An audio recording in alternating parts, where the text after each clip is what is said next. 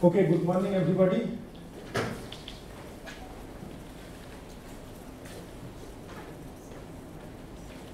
So I am going to talk about a method which we have developed quite some time back. I never talked about this anywhere in India. And so and the method is quite popular now, so I thought I'll talk about this method. Uh, so I am going to tell you a method to calculate uh, entropy in terms free energy of any molecular system. And this is quite a challenging task, so I will not go through why it's challenging. So I will just tell you the method.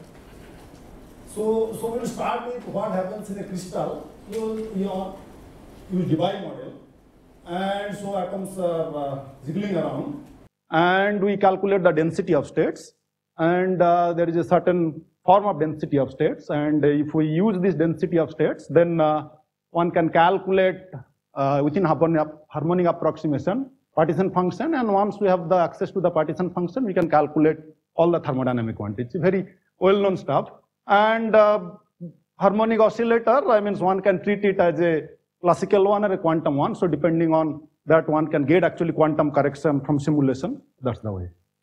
Uh, so, so then uh, what uh, uh, my colleague and friend uh, Shiang-Tai did many years back with Bill Goddard, uh, that uh, can we have this uh, same methodology applied to a uh, more interacting system and uh, diverse systems. Okay, so so idea is that then how do you get this density of state? So so density of state will get from simulation from the velocity autocorrelation function and with this uh, criteria. And one important thing to notice is that the diffusion constant is related to the S of zero of that uh, density of states. Uh, so let's see how this method works for a system, uh, say system for which the high quality density of uh, the equation of state exists, very high quality equation of states. Uh, so if you do this calculation, uh, velocity autocorrelation, then uh, take the Fourier transform to get the density of states. Typically they look like this. I show this for three different gas, liquid and solid. And if you do the Fourier transform, this is what the density of state look like. Now uh, compare this to the uh, density of state in the Debye model, for, for example, solid. So you will see this, but not see this in a system. So this is like a omega square uh, variation. So now we'll use this to calculate the entropy of the system and in terms the free energy of the system. Uh, before I do that, just wanted to mention, so here's a cartoon that uh, for a solid, uh, the density of state is looking, it's a, a Debye-like, and then there is this parts, uh, these parts. And then if you have a gas, it's exponential decay. And for liquid, you have something like this.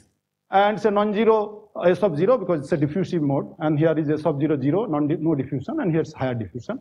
And the question is that can we use this harmonic approximation, what I mentioned to you, uh, for example, a liquid? And obviously it should not work, and I'll show you that uh, because of these two reasons, the just the harmonic way of treating these modes as a oscillator uh, may not give you the correct entropy. So what is the uh, solution to this? Solution is that that will break this uh, this density of states. For example, the liquid, uh, something a this component, solid like, and something a gas component, and I'll show you how to do that. And once you have done that, then uh, harmonic will be used for this, and we'll see that uh, what can be used for this uh, component. And so for the gas component, I will be using the, uh, the hard sphere gas, and I will use the Chapman-Enskog and Carnahan-Starling uh, formalism. And so, so for this, it's exponential term, and if you uh, do this, and then one can get the entropy for the hard sphere uh, in this fashion. And so then the, for the any system, whether it's in high density uh, liquid or solid or low density gas.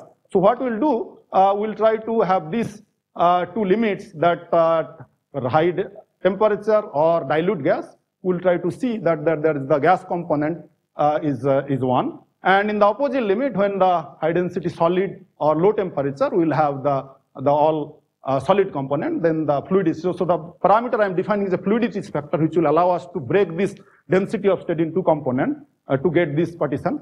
And then if I do that, so then we, one answer we do that this fluidicity is actually can be uh, defined as the density of the system what we divided by the density of the equivalent hard sphere system. And for that, we use the, the density expression we use from the Chapman-Enskog. And if we do that, then uh, uh, then uh, if we apply these two limits, then we'll get a universal equation for this fluidicity and where this diffusion constant is encoded.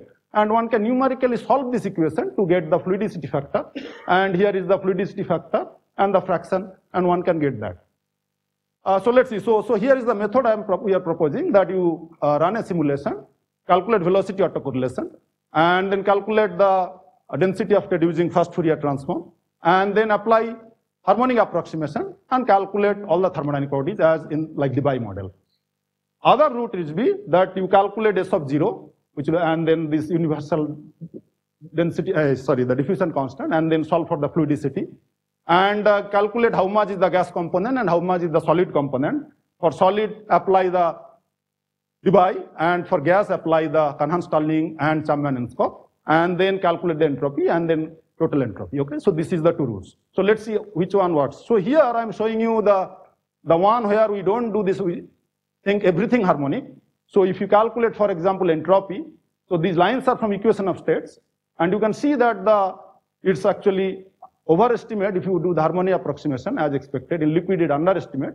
Crystal harmonics is supposed to work, so you can see that they work fine. Similarly, now if you apply the correction or the method we just now described that break this density of state into liquid and uh, the gas and solid and if you do this two correction then you can see that, that the these overestimation or this underestimated everything is exactly almost similar to the one predicted from the equation of state. Uh, similarly you can calculate the free energy give uh, so here all in harmonic approximation all within this what we call a two phase model the because the density of state is divided into something coming from gas-like component and something coming from solid-like component. So now let's see that, uh, so this was known earlier, so I want to expand this method uh, to molecular uh, system, okay? So for example, the first uh, system we will look at is the water, for which lot of experimental data available. So for water, if you do this uh, density of states, uh, you will see something like this, okay? So here I'm showing you a, a real spectra of the water, and I'm showing you the uh, each of these spectra coming from different modes of the system. So this is a bond stretching mode. This will come from the angle bending. This is the librational mode. And then finally this one is the translational mode. So the density of state, when you will calculate, it will encode all these uh, density of states. And we can use this density of states to calculate actually uh, the corresponding entropy and we can decompose that because we have access to this density of states separately for each of this mode. We can have access to each of these component of the entropy and this is the only method where you have access to these all these component very very very clearly okay? And uh, so yeah I'll skip this. Uh, so here so I'm showing you the uh, for example for some water model uh, such a density of state. So in this water model the it's a rigid water so no bond vibration or angle bending. So the other modes high frequency modes like the coming from the bending and stretching is missing from here. So only thing is I show here the translational and rotational. And if you use this and the, use the methodology just I described in last few slides, then here is the comparison. So for several water model in the literature, so I show you the translational entropy, rotational entropy, and one of the model which was the flexible model, which, uh, which will have vibrational entropy also. So these are the and this is the experiment from the STEAM table from NIST database. So you can see that, and these are other methods which you might have like uh, free energy perturbation, uh, particle insertion, all the other uh, methods which are available in StatMech. And they, these are mostly uh, very time consuming expensive, and sometimes for large molecular system cannot be performed.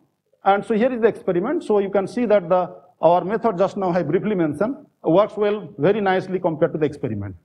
And uh, here is the full comparison. So this lines are from the STEAM table, uh, experimental data, and here is different uh, water model for which the entropy computed using the method, and you can see there's a perfect agreement, uh, one can see. So, and uh, the one of the great advantage of this method is the quick convergence, uh, meaning you can get this entropy, converge entropy almost close to experiment uh, within say 20 picosecond or within few hundred picosecond of the simulation. Here I am showing you, for example, for water in liquid and vapor phase, how quickly one can get a converge entropy. Uh, I'll just quickly show you one application of this. Uh, so for example, we do a lot of simulation uh, in water in oops, uh, carbon nanotube, and uh, this movie should have played actually. this one is playing, so this one yeah, this movie does not work anyway. So, so here you could have seen that the water spontaneously, here already you see that water has entered you. And the question you are asking, what is the thermodynamics of entry of this water inside nanotube channel? Because nanotube is a hydrophobic channel. What we are claiming that is a rotational entropy gain of the water molecule, which is actually driving this water entry inside. And now with this method just now I described, we can actually calculate this and really show that it's indeed the gain in the rotational entropy which is driving water entry into the hydrophobic channel. And here is the summary of that. Uh, so here, uh, bulk water, uh, so this is the enthalpy per water, and this is the bulk water translational and rotational entropy. And so the Helmholtz free energy is, is this is in kilocal per mole. And contrast, now compare this with the entropy or the energy of the water in say this confined 66, which is around point, 0.8 nanometer diameter. So you can see that the, uh, the it loses uh, energy because it's hydrophobic confinement, it loses its neighbor uh, because of the hydrogen bonding loss. And then you see that the translational entropy in the bulk as well as in the in the in the confinement they remain similar. But what is changing is this rotational component of the entropy, which is almost getting double the when in the confinement it's actually gaining large rotational entropy because of this uh, first uh, librational mode which I showed you in the previous movie. This one you can show. So this is what I wanted to show you that uh, uh this because in bulk water there are four hydrogen bonded here two hydrogen bond is gone from the other neighbors and so that's why this librational motion becomes very fast. And this is what is causing is large rotational entropy gain and that's what is causing the so the free energy whether in the bulk or in confinement they are almost similar. And that's what is driving this entry. Uh, so yeah so i think uh, i can stop here and can take your questions. Questions? Yeah